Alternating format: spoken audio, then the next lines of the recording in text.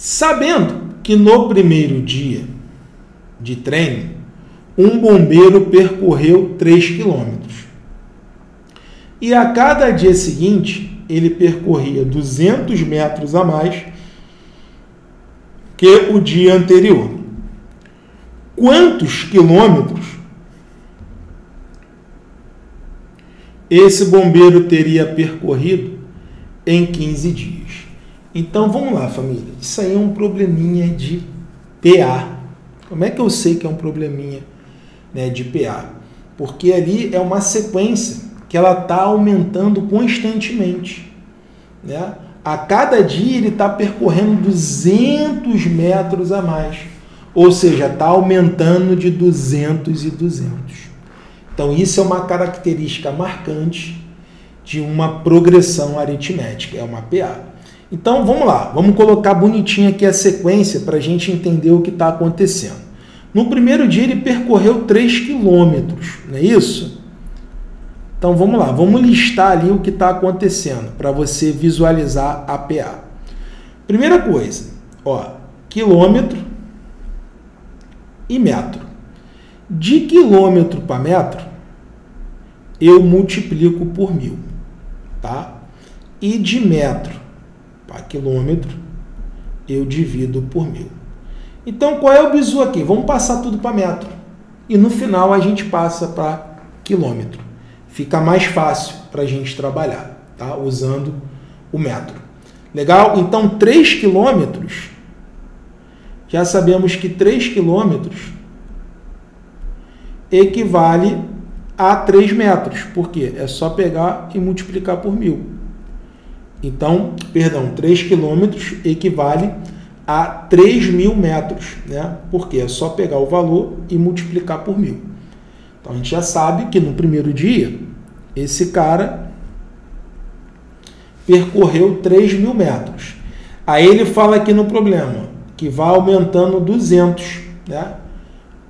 Vai aumentando ali de 200 e 200. Ó. Cada dia seguinte ele percorria 200 a mais que o dia anterior. Então no próximo dia ele percorreu 200 a mais que o dia anterior. Então ele percorreu quanto? 3,200. No próximo dia ele percorreu quanto? 200 a mais que o anterior. Então ele percorreu 3,400. Eu poderia fazer isso daqui, ficar somando 200, 200, até o 15 dia.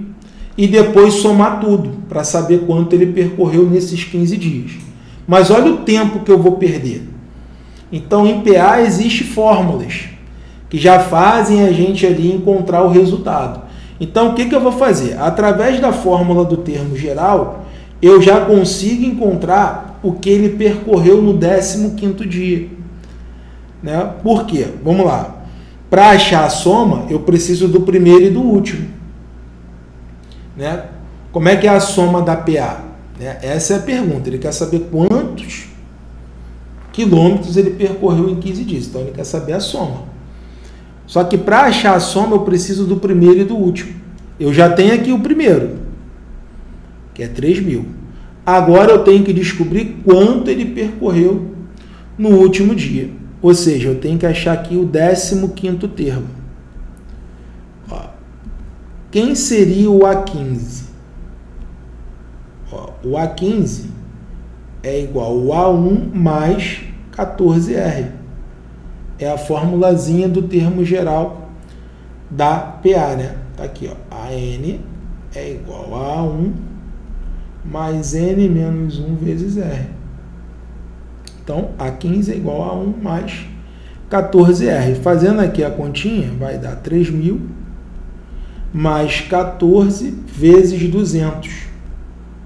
A razão vale 200, porque está aumentando de 200 e 200. Fazendo aqui o cálculo, vai ficar 3.000 mais 2.800. 3.000 mais 2.800 vai dar 5.800. Então, no 15º dia, esse cara percorreu 5.800 metros. Acabou. já tem como encontrar o total. Porque para encontrar o total, eu preciso do primeiro e do último.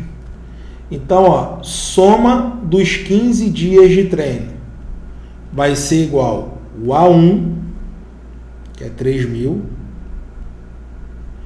mais o AN, que é o último, que é o A15, que é 5,800, vezes 15 dividido por 2. Essa é a formulazinha, né? O primeiro mais o último vezes a metade, né? Primeiro mais o último vezes a metade. Essa é a formulazinha da soma. Aí, um abraço. 3.000 mais 5.800 vai dar 8.800 vezes 15 dividido por 2. Facão aqui, ó, pou, pou. Aqui vai dar 4.400. 4.400 vezes 15 vai dar 66 mil. O quê? Metros. Deixa eu ver se cortou ali, não. Só que 6 mil, né, 66 mil metros equivale a 66 quilômetros. Porque é só eu pegar esse valor e dividir por mil. De metro para quilômetro eu tenho que dividir por mil. Então, olhando ali as opções, nosso gabarito é a letra C. C de churrascão da aprovação.